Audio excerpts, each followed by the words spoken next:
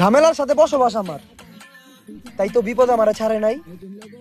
আর তুমি আজকে চেষ্টা করতেছো, তোমার আগে অনেকে চেষ্টা করছে। কেউ আমার থামায় রাখতে পারে নাই। তো হ্যালো গাইস, কেমন আছেন সবাই? আশা করি সবাই অনেক অনেক ভালো আছেন।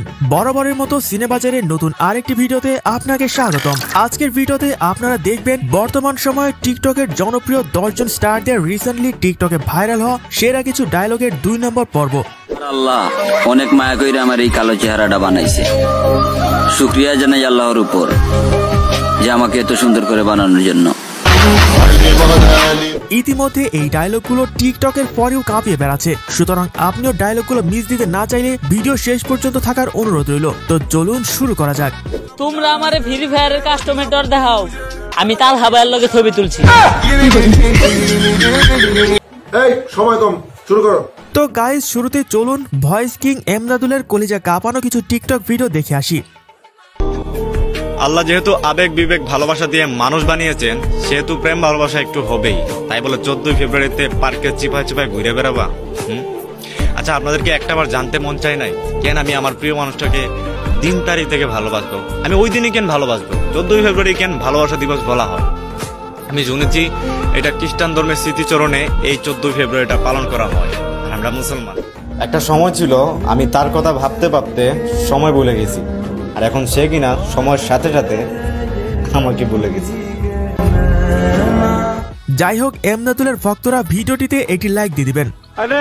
তো গাইস এরপর দেখবেন এক সময় টিকটক কিং প্রিন্স মামুনের ভাইরাল কিছু টিকটক ভিডিও আমি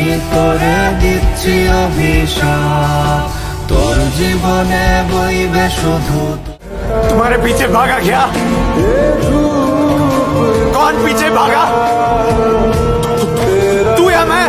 मुझे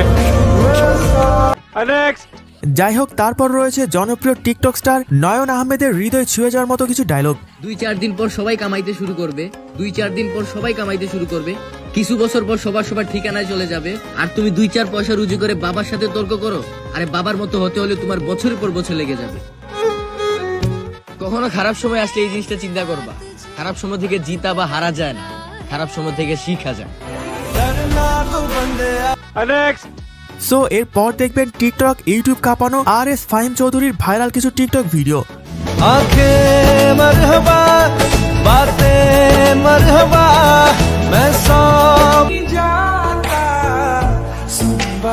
তো যাই হোক ফাহিম ভাইয়ের ভক্তরা ভিডিওটিতে একটি কমেন্ট করে যাবেন। সো গাইস এর পরে রয়েছে ইটস ওমর টিমের কাকা অন ফায়ারের মজার কিছু ডায়লগ ধৈর্য জিনিসটা তাদের জন্য না। যারা চুষে খাওয়া চকলেটটা চিবিয়ে খায়। নিজেকে কখনো বেকার ভাববেন না। মনে রাখবেন আপনার শরীরের রক্ত দিয়ে হাজারো মশার সংসার চলে।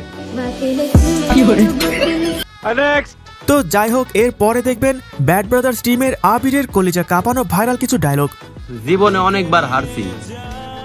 হার মনের ভেতর থেকে ভাঙছি। পকেটটা খালি ছিল তার জন্য আপন মানুষগুলারে হারাইছি। মা বাবারে খুশি রাখতে পারব যখন জীবনে সফলতা অর্জন করব তখন।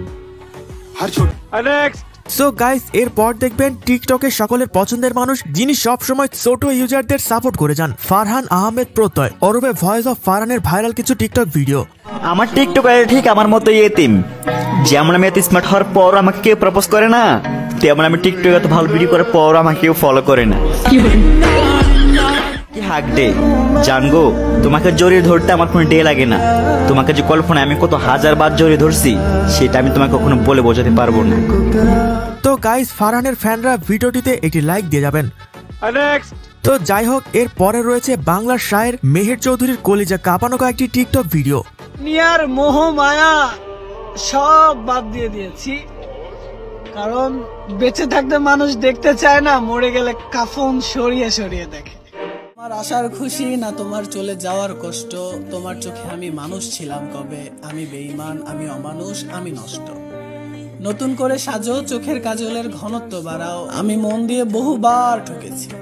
নতুন করে সাজো চোখের কাজলের ঘনত্ব বাড়াও। আমি আমার মনটাকে সুরক্ষিত জায়গায় রেখে পাথর নিয়ে আসব। তুমি লাল শাড়ি পরে একটা মিনিট দাঁড়াও। তো গাইজ এরপরে দেখবেন ব্রাদার স্কোয়াড টিমের শাকিলের হৃদয় ছুঁয়ে যাওয়ার মতো কয়েকটি টিকটক ভিডিও পরিস্থিতির কারণে আমি খুব চুপচাপ হয়ে গেছি। নয়তো একটা সময় এমন ছিল আমিও অনেক হাসি খুশি থাকতাম।